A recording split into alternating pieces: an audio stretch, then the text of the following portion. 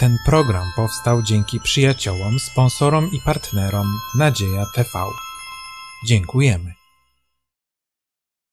Witam serdecznie na kolejnym studium Słowa Bożego w Kościele Adwentystów Dnia Siódmego w Podkowie Leśnej. Przedmiotem naszego dzisiejszego studium jest nasz miłujący niebiański Ojciec. Jest to pierwszy temat z serii tematów, które będziemy rozważać, a noszą one tytuł Nauki Jezusa.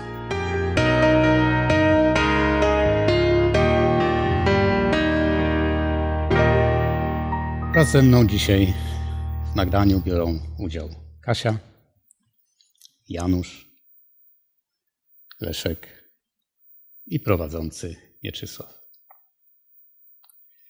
Na wstępie naszego rozważania, jak zawsze, poprosimy Boga, o którym też chcemy za chwilę mówić.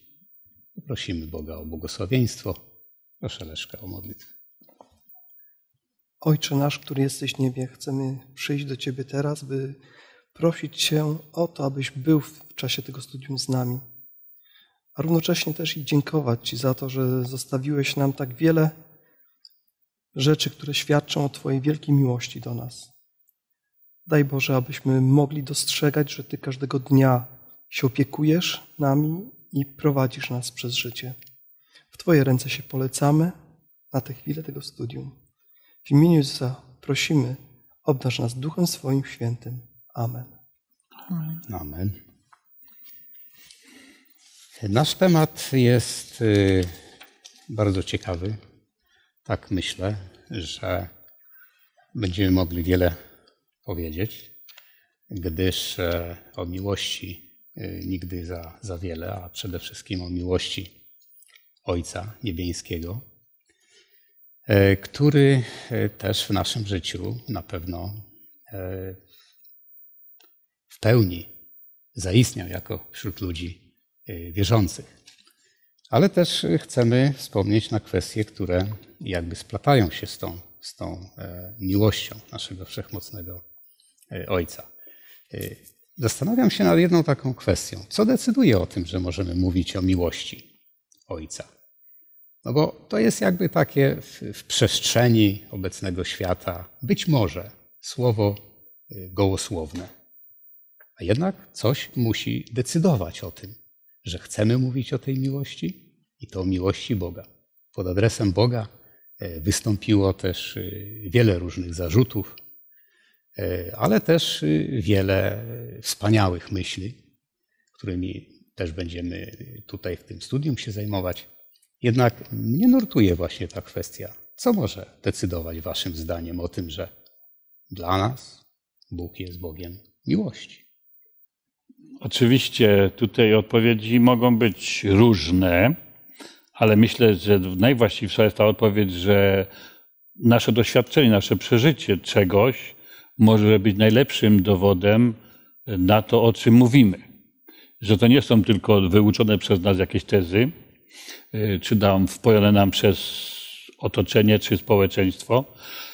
Tym bardziej myślę, że jeżeli mówimy o kontekście miłości do Boga Ojca, to nawet pomijając kwestię oskarżeń szatana co do Boga jako niesprawiedliwego i, i, i niedobrego, to nawet w naszej kulturze chrześcijańskiej, w jakiej wyrośliśmy, większość z nas, jest takie mniemanie, że Bóg Ojciec to jest ten Bóg srogi. Jak się go przedstawia w jakichś tam wizerunkach, to jest to mężczyzna w sile wieku, bardzo często z poważnym zarostem i srogą miną. Wręcz nawet często jest postrzegany jako ten, który taki jest srogi, że tylko czeka, kiedy ten biedny człowiek upadnie albo zrobi jakiś błąd, żeby go od razu skarcić. Ale zauważ, że, zauważ, że wtedy najczęściej nie używamy słowa ojciec.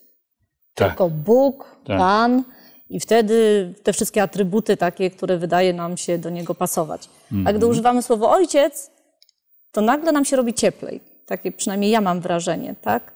I nawet tak sobie myślę, że osoby, które nawet nie mają dobrego doświadczenia co do relacji, na przykład ojciec-syn czy, czy córka, to y, gdzieś tam głęboko wiedzą, jakie te relacje powinny być. Nie wiem, czyście zauważyli. Nawet jeżeli te relacje nie są dobre, to mamy gdzieś tam świadomość, jaki ten ojciec powinien być. I, i myślę, dla, dlatego mamy tutaj słowo użyte ojciec.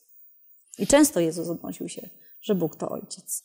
No pięknie, czyli Boga Ojca utożsamiamy e, z rodziną. A to oznacza, że mamy rodziny. Wychowaliśmy się w rodzinach. Być może w licznych rodzinach. I tam zauważyliśmy właśnie ten e, boski charakter e, pełen miłości.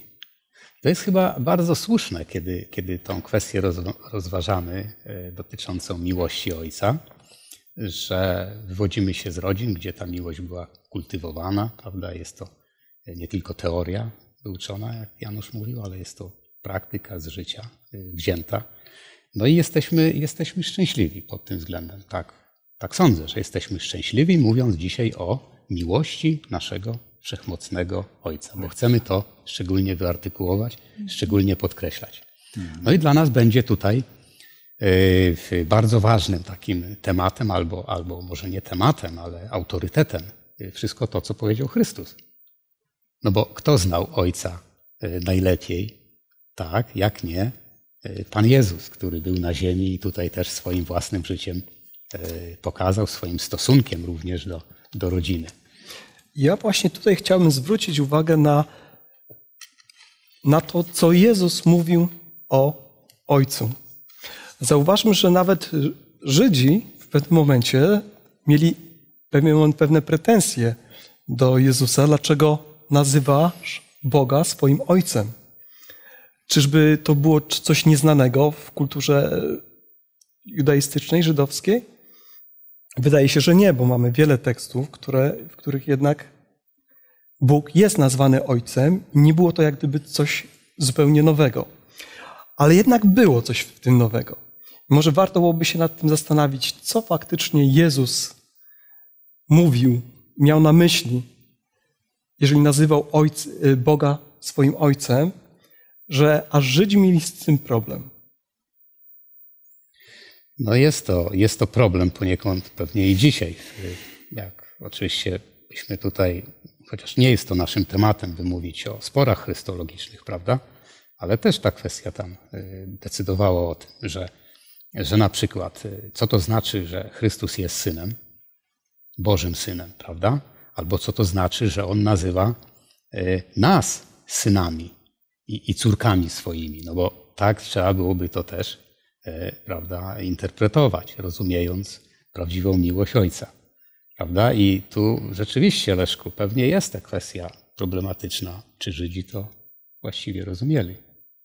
Prawda? Myślę, że szczególnie Żydzi, Żydzi też mają kilka lat, kilka tysięcy lat historii i w różny sposób nawet cały naród zachowywał się i w jakiś sposób e, miał, za, za, zabierał stosunek do Boga, prawda? W czasach Chrystusa Żydzi to byli Żydzi bardzo pieczołowicie i skrupulatnie przestrzegający zakonu Bożego, starający się wypełnić wszystkie, jakby nawet y, powiedziałbym, zachcianki swojego Boga. I to pewnie im e, nie pozwalało patrzeć na Boga jako na kochanego, miłującego tatusia. To był raczej sędzia, to był ktoś, kto skrupulatnie liczy ich dobre uczynki, ich zasługi, czy oni, prawda, zdają egzamin. Mhm. Wziąwszy y, sytuację, doświadczenia prawda, narodu takiego czy innego, tak. Y, wojny, powiedzmy no, coś takiego jak Holokaust, tak. prawda, obozy, inne rzeczy, no, możemy zastanawiać się nad rolą Boga w sytuacjach powiedzmy tak y, trudnych, życiowych. E, no ale przejdźmy na, na grunt nasz obecny. No, mówiąc o Izraelitach, no to rzeczywiście to od początku. Myśmy gdzieś tam w kuluarach też rozmawiali sobie troszeczkę o takich kwestiach e, dawnych, starożytnych, gdzie, gdzie, gdzie kwestia ojca e, w narodzie izraelskim musiała być znana, bo przecież Abraham w sensie etymologicznym w Biblii, w 17 rozdziale Księgi Rodzaju jest napisane, że jest y, nazwany ojcem mnóstwa Narod. narodów. Tak. No to i- jeśli mowa jest o ojcu, no to ta rzecz była znana. Ale moi drodzy, y, bo tak, y, y, nie chcemy ogólnikami pewnymi mówić, prawda? Jak możemy odnieść się do, do y, Boga Ojca, oczywiście pełnego miłości, który jest w niebie? Bo Jezus, będąc na ziemi, on też o tym mówił. Czy tam się pojawiają jakieś teksty, czy co Jezus na ten temat powiedział? Y, Bo rzeczywiście ta rola, którą Kasia podkreślała, y, rodzinna, y, znaczy wypływająca z życia rodzinnego, rola, rola Boga, jest tutaj bardzo, bardzo istotna. Tam Jezus powiedział też coś na ten temat, nie? W relacjach ojciec-dziecko. To żebyśmy przeczytali te teksty. Mateusz, siódmy rozdział, od wiersza ósmego do jedenastego. Każdy bowiem, kto prosi, otrzymuje, a kto szuka, znajduje, a kto kołacze, temu otworzą. Czy jest między wami taki człowiek, który, gdy go syn będzie prosił o chleb, da mu kamień, albo gdy go będzie prosił o rybę, da mu węża? Jeśli tedy wy, będąc złymi, potraficie dawać dobre dary dzieciom swoim, o ileż więcej Ojciec wasz, który jest w niebie, da dobre rzeczy tym, którzy go proszą. Ja tu mam inne skojarzenie. Ja jakoś wyłapałem sobie z tego, z tej dyskusji, nawet z podręcznika, y, temat, który mówi Ojciec nasz, który jest w niebie. Ach, niebo to tak daleko, że co ja tam będę temu Bogu zawracał głowę, albo co On może mi tu pomóc biednemu na ziemi, prawda? Pan Bóg sobie siedzi tam w niebie, ja sobie tu robię swoje i, i nie przeszkadzajmy sobie, prawda? I coś takiego. Kiedy i tak może wielu ludzi takie wnioski wyciągać. Myślę, że wiem, że to są fałszywe wnioski, ale e, żebyśmy zrozumieli, że Bóg, który jest w niebie, to jest ten Bóg, ten sam Bóg, który potrafi być bardzo blisko każdego z nas. E, Niebo daje mu te możliwości, że może być blisko każdego z nas. Jezus, jak był na ziemi, nie mógł być blisko każdego z nas. Dopiero Duch Święty, który jest w niebie, też może być blisko każdego z nas. To są dziwne sprzeczności, ale, ale dobrze jest mieć o tym pojęcie, zdać sobie z tego sprawę. Czyli mieć świadomość to, prawda? Jeżeli mówimy o Ojcu w niebie, mówimy o Jego wszechobecności, Tak. mówimy o Jego y, wszechmocy.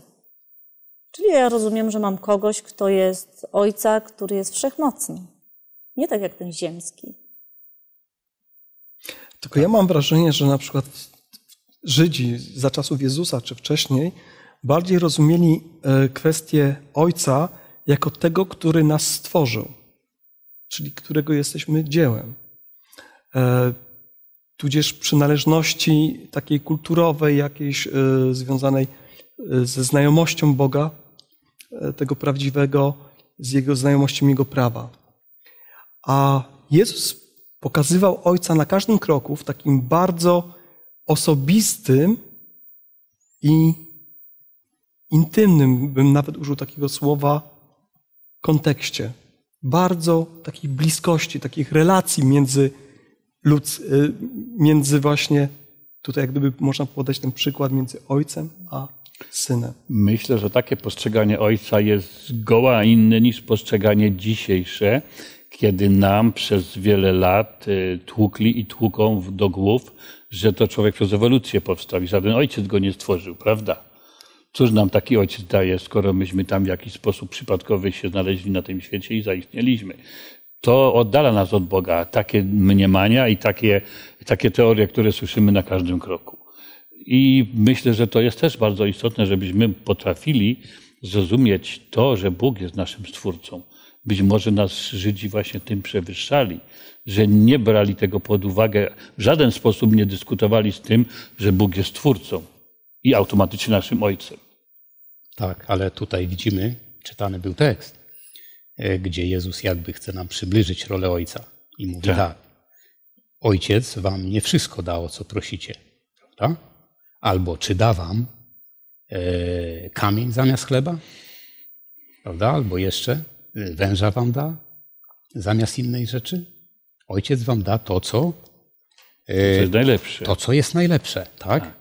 I teraz nie wiem, jak y, zastanawiam się też nad tą kwestią, no bo Chrystus w zasadzie wkopywał takie słupy milowe w tym momencie dotyczące e, Ojca, Ojca miłującego cały rodzaj ludzki, ludzi.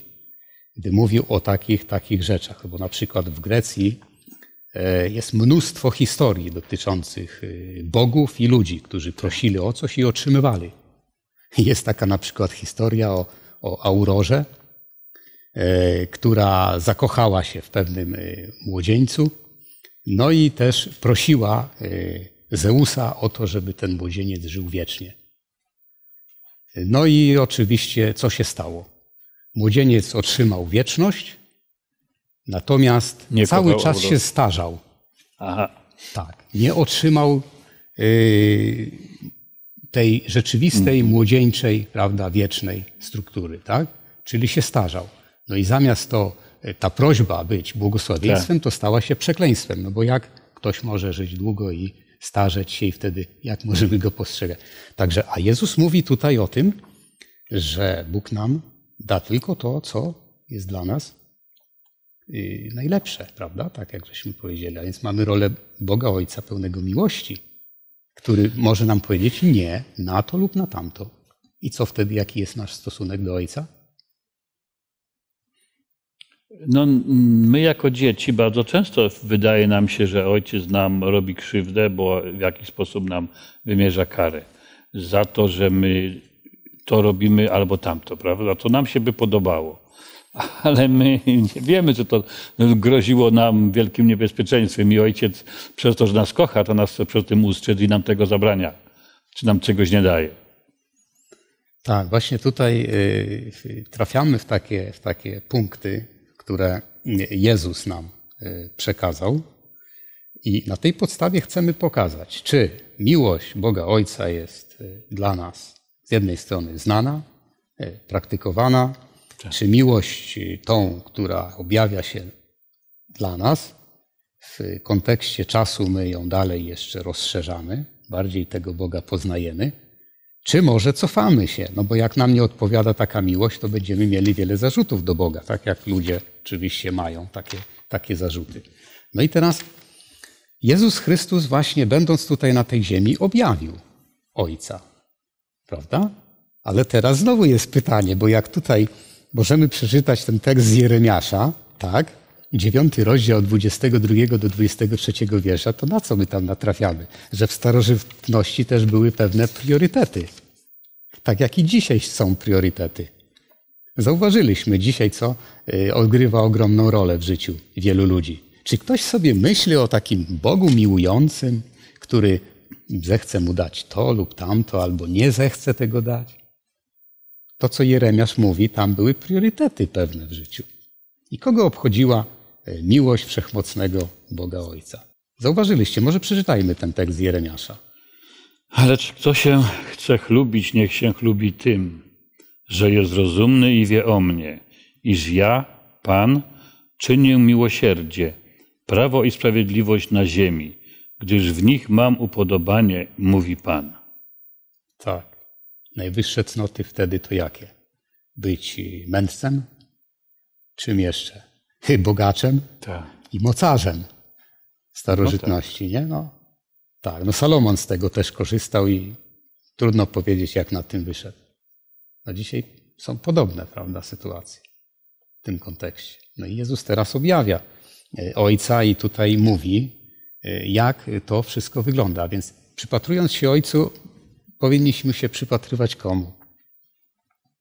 Jezusowi. Jezusowi, prawda? Tak.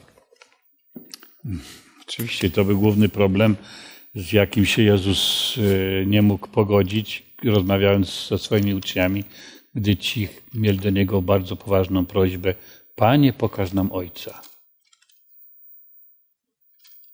Chcieli dostąpić jakiegoś wyróżnienia, chcieli dostąpić zaszczytu, nie zdając sobie sprawy, że codziennie tego zaszczytu dostępują. Tak jest. Dzisiaj wielu ludzi chciałoby, prawda? No zresztą naszym marzeniem wszystkich jest to, żeby kiedyś móc z Jezusem się spotkać twarzą w twarzy, z Nim rozmawiać, czy Go dotknąć, czy przy Nim usiąść. co jest naszą nadzieją w wieczności, prawda, uzyskać takie, taki przywilej. Oni mieli taką możliwość, będąc tu na ziemi. Słuchajcie, a powiedzmy sobie teraz, co nam się tak naprawdę w Chrystusie podoba? Bo mówiąc o tym, będziemy mogli powiedzieć, co się nam tak naprawdę podoba w Bogu Ojcu. No i pewnie też w Duchu Świętym, nie? Ale dzisiaj mówimy o miłości naszego wszechmocnego y, Ojca na podstawie Ewangelii.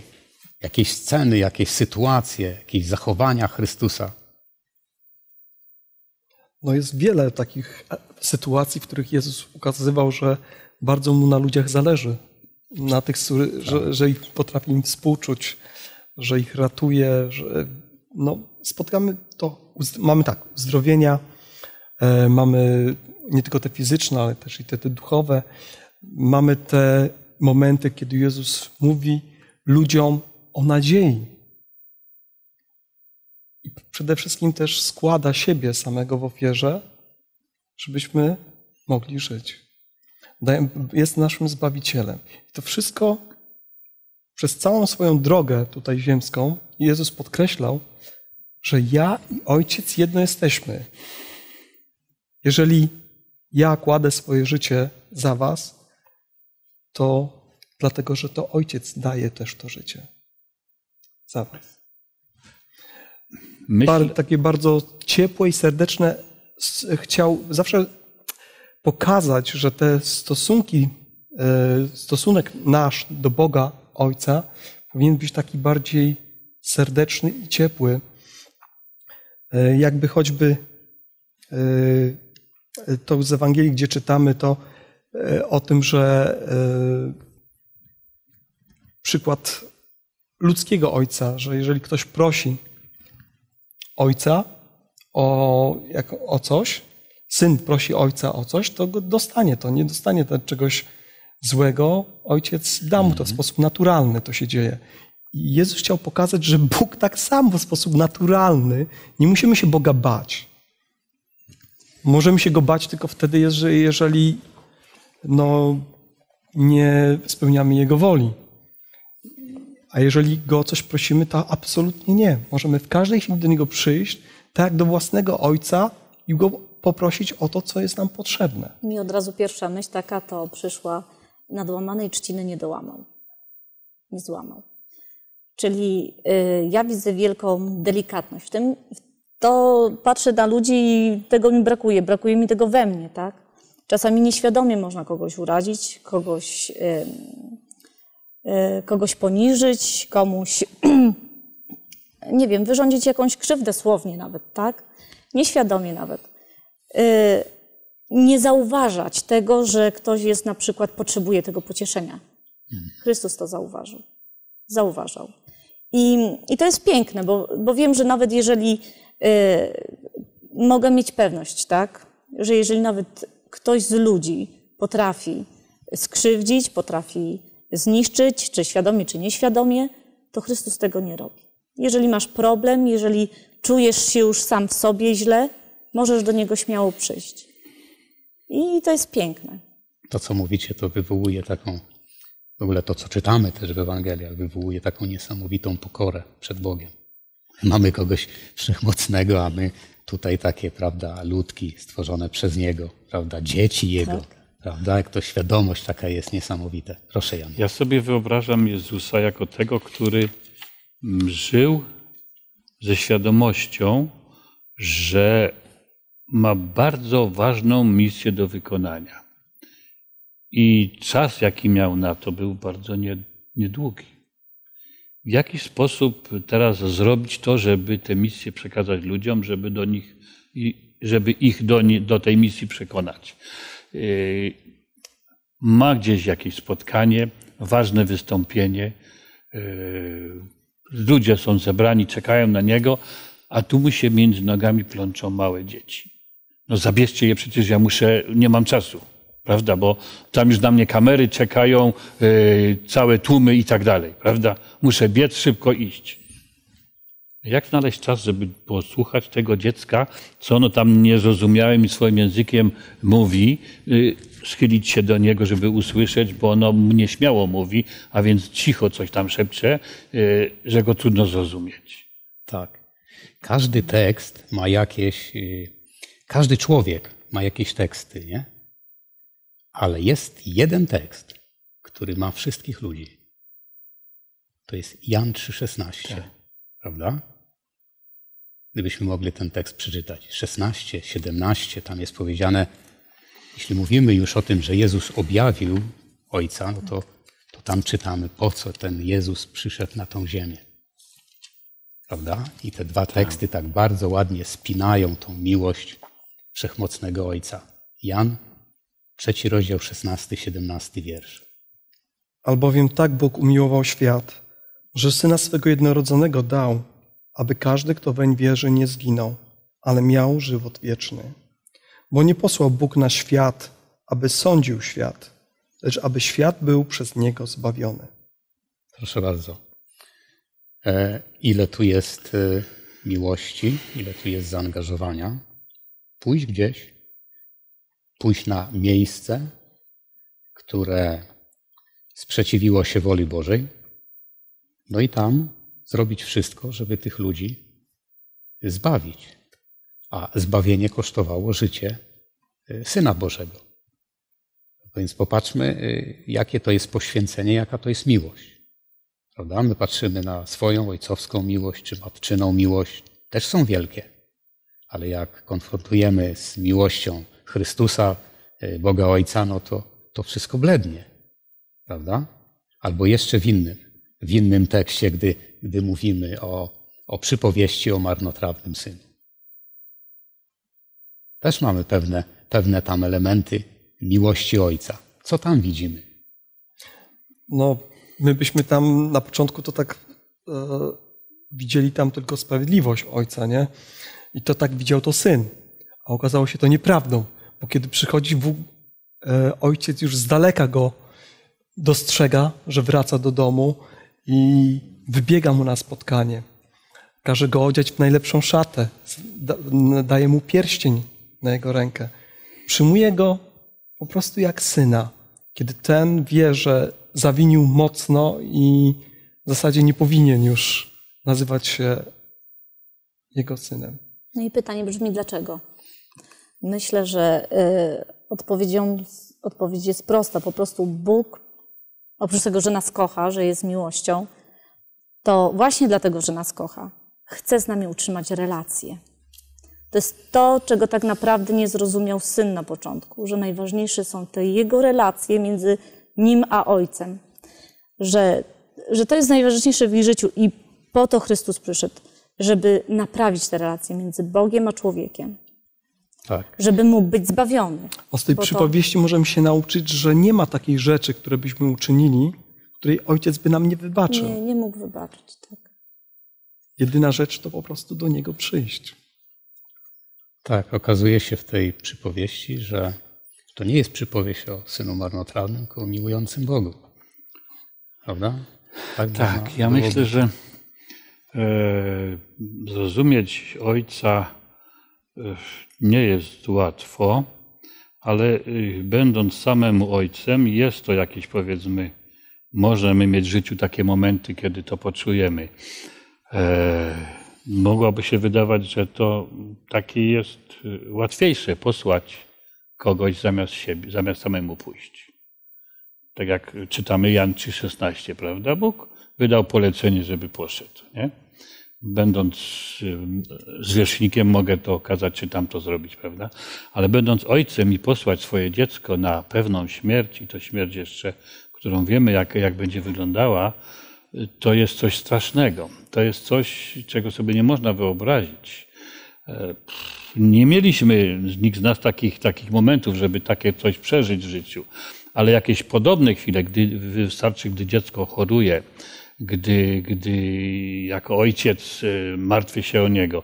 Wystarczyło mi, że gdy mój syn zaczął jeździć w dalekie trasy samochodem, które ja wcześniej robiłem, y, wiem jak nieraz z niecierpliwością dreptałem po domu od okna do drzwi, kiedy on według moich obliczeń powinien już być z powrotem.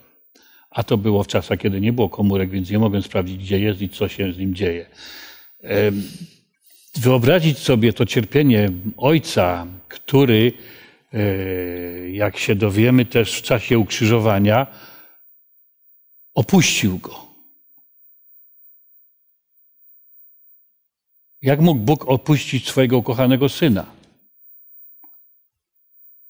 Bo to tak zabrzmi, bo to może tak brzmieć e, dla niektórych ludzi bardzo okrutnie, bardzo wręcz e, no, drastycznie, że Bóg wziął i obrócił się plecami do swojego syna, gdy ten umierał. Tak, ale tu mamy ten przykład, nie? Właśnie na krzyżu, kiedy, Tak. kiedy pokazane jest, jak, y, jak straszliwy jest grzech.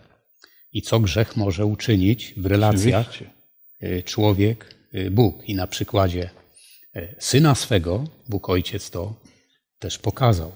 I my to dzisiaj wiemy, że grzech popsuje wszelkie relacje, prawda? Czy to w domu y, rodzinnym, tutaj, ziemskim, czy oczywiście w relacjach naszych Tak. y, z Bogiem. Tak? Siła grzechu jest przeogromna. No ale w końcu miłość Ojca nie jest po to, żebyśmy grzeszyli, prawda? Tylko żebyśmy Mu y, żyli w posłuszeństwie. Jest taka rzecz, która może być kontrowersją dzisiaj w miejscach, gdzie żyjemy. No bo jak ludzie postrzegają e, troskliwość Boga? No przecież to jest też jakiś wynik Bożej miłości. Troskliwość Boga. Gdy czytają e, prawda, Ewangelię Mateusza i tak dalej, mówią, no to jak to? Mam nie pracować, mam jeszcze tego nie robić, czy tamtego nie robić? Co to znaczy? Prawda? Czy Bóg będzie się mną troszczył bez względu na to, co ja robię, czy są jakieś zasady życia, prawda? Oczywiście Bóg zawsze chce, żebyśmy robili to, co dla nas jest najlepszego. I to nie znaczy, że dla nas najlepsze to jest siedzieć w akwarium albo w, w jakimś, prawda, e, bezpiecznym miejscu, otoczonym e, hermetycznie i sterylnie, żeby nam się nic nie stało. To wcale nie znaczy tego, że, No, Bóg, nam, powiedzmy- że Bóg nami tak się powinien opiekować, żebyśmy mieli stuprocentową pewność, że nam nic nie stanie się. Tak jak to szatan powiedział do, do, do Jezusa, przecież skocz, Pan Bóg, o, Ojciec obiecał, że Cię na, na rękach będą nosić, prawda? Obojętnie co będziesz robił, to jesteś, jesteś zaspokojony. Wcale tak nie. My musimy wykazać naszą lojalność. Tak, ale w obliczu tego, e, tego życia tutaj na tej ziemi obserwujemy swoje życie, życie innych ludzi, rozmawiamy czasami z ludźmi o Bogu, jak oni reagują w, tej, w tym kontekście. No, starożytni też, też mówili, że jeśli masz troski i problemy, to lepiej napić się, napić się wina, wtedy wszystkie problemy idą spać. No i tak dzisiaj y, wielu ludzi też podchodzi do tej sprawy, prawda? Y, Kto na przykład y, będzie chciał rzeczywiście w taki sposób, jak tam w tym tekście jest napisane, najpierw szukajcie Królestwa Bożego i sprawiedliwości Jego, a wszystko inne będzie wam dodane. No w to trzeba wierzyć, prawda?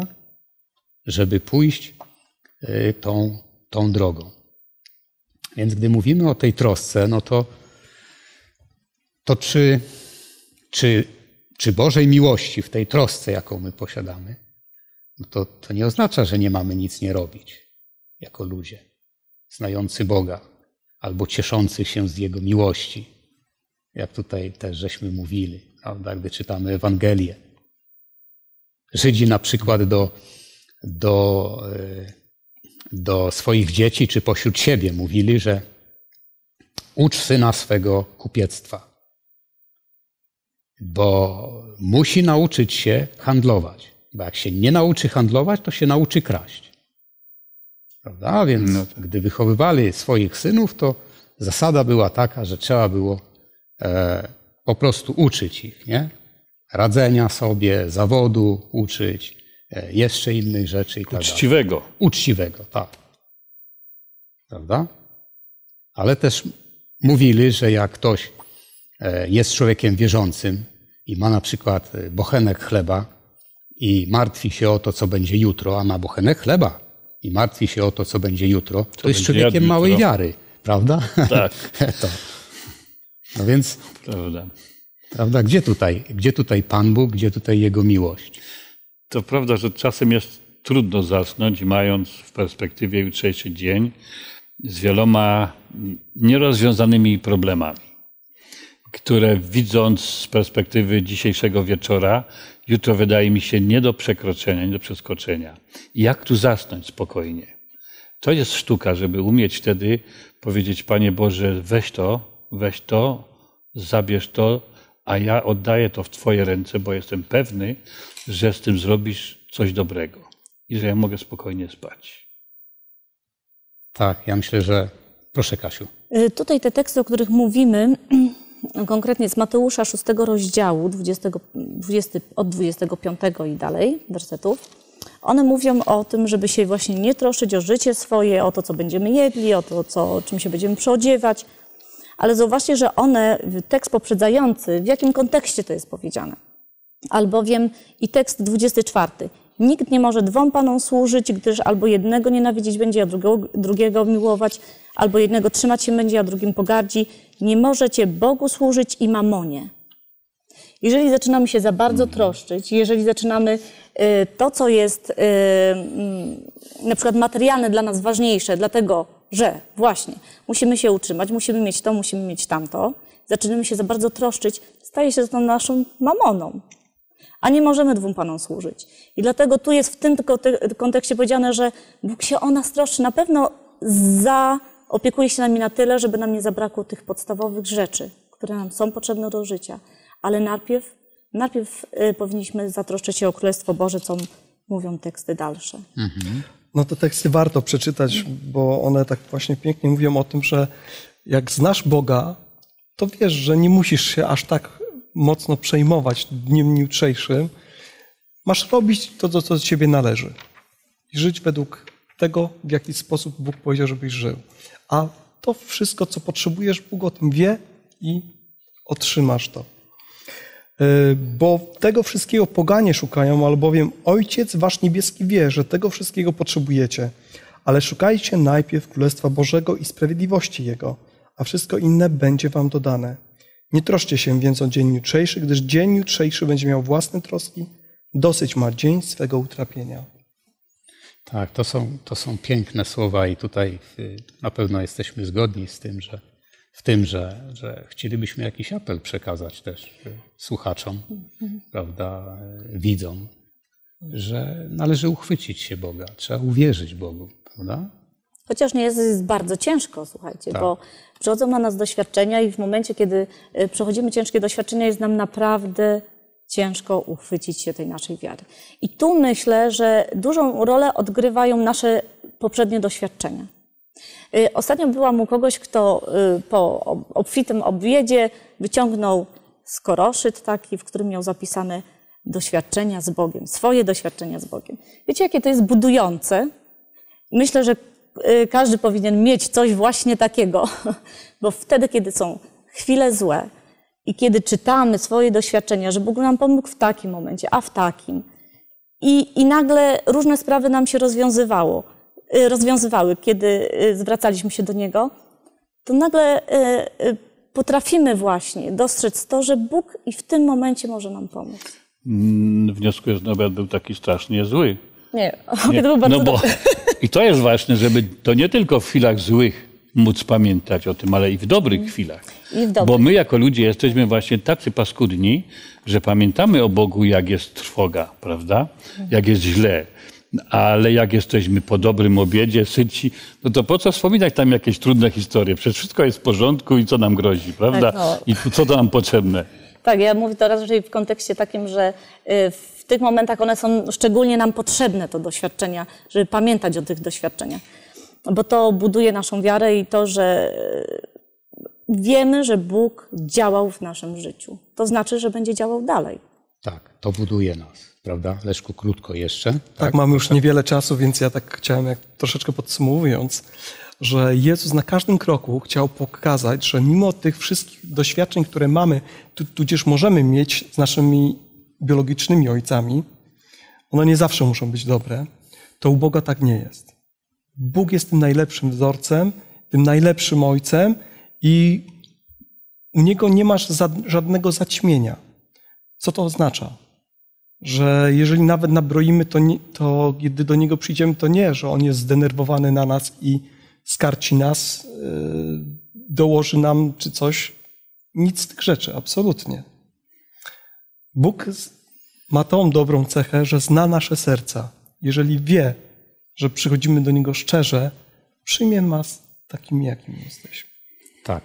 Chciałbym wspomnieć jeszcze tylko chwilę, że e, oczywiście będziemy o tym studiować w następnych e, naszych rozważaniach, że Jezus mówił nie tylko o Ojcu miłującym, ale mówił też prawda, o sobie, o relacjach między sobą a Ojcem, ale też o relacjach e, z Duchem Świętym i w ogóle o osobowości Ducha Świętego.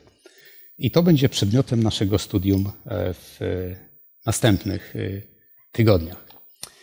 No, chciałbym zachęcić dzisiaj wszystkich do tego, aby szczególnie zaufali Bogu.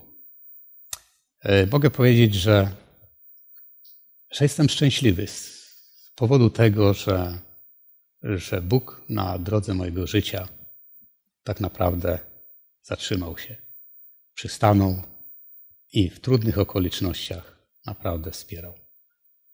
Z wiarą i z pełną wdzięcznością chcę, to dzisiaj wyrazić i zachęcić dzisiaj wszystkich, aby również w ten sposób mogli poznawać naszego ukochanego, miłującego Ojca. Na dzisiaj to tyle z rozważania tego. Natomiast chciałbym zaprosić wszystkich na kolejne rozważanie, które będzie nosić tytuł Bóg, Syn. Może na zakończenie jeszcze podziękujmy Bogu za te wszystkie wspaniałe Jego dary, które możemy na każdy dzień mieć i możemy o nich mówić. Proszę Kasiu o modlitwę. Boże, który jesteś w niebie, Ojcze nasz, który jesteś w niebie, bardzo dziękuję Ci za Twoją miłość, za to, że ona jest ustawiczna, za to, że jest szczera i za to, że jest trwająca. Bardzo Ci za to dziękuję i proszę napełniaj nasze serca tą miłością. Niech będzie chwała Tobie, cześć, uwielbienie. Amen. Amen. Amen. Thank